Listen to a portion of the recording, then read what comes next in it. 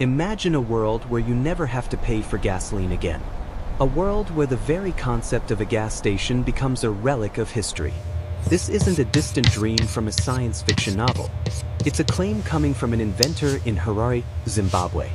His name Local is Maxwell Maxwell Chikumbutso, Chikumbutso is facing and he says he has built something impossible. He calls it the green energy power energy generator. car. A battery, he says, produces more energy than it consumes. A device he claims can power a house, a factory, even a car, forever. If true, it doesn't just challenge the electric vehicle industry. It threatens to obliterate the entire foundation of fossil fuels. Our story begins not in a glossy Silicon Valley lab, but in a workshop in southern Africa. Maxwell Chikumbutso is a self-taught engineer. He has no formal university degree in physics or electrical engineering. He describes himself as a man guided by divine inspiration. From a young age, he was taking apart radios and televisions. He was fascinated by the flow of energy, the magic of electricity. His first major invention, he says, was a hybrid vehicle. Good evening. Tonight, Not a a local hybrid like you're is thinking. facing a lawsuit This one, over his he claims, controversial free ran on a combination of gasoline claims. and radio frequency waves. It was a startling claim that first put his name on the map. But it was just the beginning. The central invention, the one causing all the controversy, is the green energy generator. Visually, it's a large, unassuming box. It's filled with capacitors, circuits, and what he calls proprietary components. The principle he invokes is terrifying to conventional physicists. He says it taps into the quantum vacuum, the sea of energy that exists in empty space. Scientists call this zero-point energy. Theorized, but universally considered impossible to harness for practical, net positive power. The laws of thermodynamics, the bedrock of modern physics, say you cannot get more energy out than you put in. You cannot create a perpetual motion machine. Chikumbutso doesn't just challenge this law. He claims to have broken it. He demonstrates units that appear to power light bulbs indefinitely. He shows a television running for days with no external power source. The most audacious demonstration? A converted SUV, stripped of its engine and gas tank. Under the hood sits one of his green boxes. He claims this box powers the car. Not for 300 miles. Not for 3,000 miles. But forever. No charging. No fuel. Just endless, clean energy from the void of space itself. The implications are so vast they are difficult to comprehend. Think about the entire global economy. It is built on the extraction, refinement, and sale of energy. Natural gas. Trillion dollar industries. Entire nations derive their power and wealth from them. This invention, if real, would be the greatest disruption in human history. It would mean energy abundance for everyone. Remote villages in Africa could have limitless power. Factories could operate without worrying about fuel costs. The environmental impact would be profound. No more tailpipe emissions. No more drilling. A giant leap toward healing our planet. It sounds like a utopian fantasy. And that is precisely why the world has met Chikumbutso with overwhelming skepticism. The scientific establishment has dismissed him outright. Physicists point to the conservation of energy. They say his device is, by definition, impossible. They suggest trickery, hidden batteries, a cleverly concealed power source. They demand peer-reviewed papers. They insist on independent testing under controlled laboratory conditions. Chikumbutso's response is one of defiance. He says he has been blocked at every turn. He claims powerful interests do not want his technology to see the light of day. He tells a story of being invited to demonstrate his generator in the United States. Upon arrival, he says his equipment was seized. He alleges he was threatened and silenced. His narrative is one of a lone genius against a corrupt system. A system protecting the oil industry. A system terrified of change.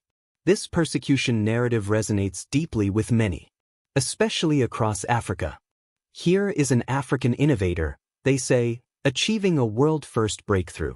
And instead of celebration, he faces rejection and accusations from the West. It touches a raw nerve of historical exploitation. The feeling that African brilliance is always questioned, always subdued. His supporters are fervent. They see a visionary being suppressed. They post videos of his demonstrations online. They argue that established science is sometimes overthrown by radical discovery. They cite figures like Nikola Tesla, who spoke of drawing power from the atmosphere. They claim Chikumbutso is a modern-day Tesla, misunderstood, and deliberately marginalized. But the questions remain, and they are serious. Where are the rigorous, independent tests? Why hasn't a single credible scientific institution validated the technology? If it works, why isn't it powering a single hospital ward or school in Zimbabwe right now? Skeptics have dissected his public demonstrations. They note the generator is never run in a completely isolated, transparent environment. The wires could be going somewhere. A battery could be inside the casing. The car demonstration is particularly contentious. Could the box simply be a buffer for a hidden, conventional battery pack? Without open inspection, doubt will always flourish. The controversy took a strange turn when Chikumbutso attracted attention from an unexpected place. American investors. A company called Saith Holdings Incorporated was formed around his technology. They made grand presentations. They promised to revolutionize the world. They even claimed partnerships with the U.S. Department of Defense, which were never verified. This move into the complex world of international finance raised more red flags.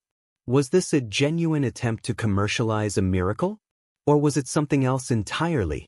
The line between a misunderstood genius and a very sophisticated promoter became blurrier. Yet, through it all, the core idea persists. What if he's right?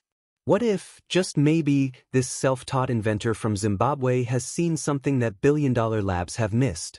History is littered with examples of outsiders challenging orthodoxy.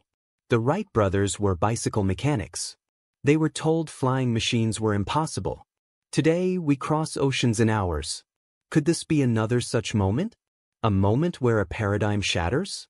Let's consider the battery itself as described. A device that requires an initial input of energy to start. But once activated, it enters a state of resonance with the quantum field. It draws infinitesimal amounts of energy from the vibrations of spacetime itself. It amplifies that energy to a usable level. And it does so without decaying, without fuel. It's not creating energy, he would argue. It's simply converting what is already everywhere. An endless, cosmic reservoir. For the consumer, the experience would be simple. You buy a unit for your car. You install it. And you drive. You drive across the country. You park for months. You start it again, and the power is still there, undiminished the automotive industry would be turned upside down overnight. Electric vehicles with massive, heavy battery packs become obsolete. Charging networks become irrelevant. The entire conversation about range anxiety vanishes. The economic liberation for ordinary people would be staggering. The average family spends thousands a year on gasoline and electricity. That cost could drop to nearly zero. That's money back in pockets. Money for food, education, and healthcare. On a geopolitical level, the shift would be seismic. Petrostates would lose their leverage overnight. Wars fought over oil resources would become pointless. The global balance of power would radically reset. It's a vision of a peaceful, abundant future. A future freed from the shackles of energy scarcity. This is the powerful dream that Maxwell Chikumbutso sells. It's a dream that transcends science and enters the realm of hope and belief. Perhaps that is the true core of this story. In a world of climate change, energy poverty, and inequality, people are desperate for a hero. They are desperate for a simple, elegant solution to our most complex problems. Chikumbutso, whether a genuine inventor or not, has become a symbol of that desperation. He represents the audacious hope that one person can change everything that the next world-changing idea can come from anywhere, even from a small workshop in Harare. As of now, the mystery remains unsolved. The claims are unresolved. The scientific community stands firm in its dismissal. His supporters stand firm in their belief. The truth is trapped somewhere in the middle.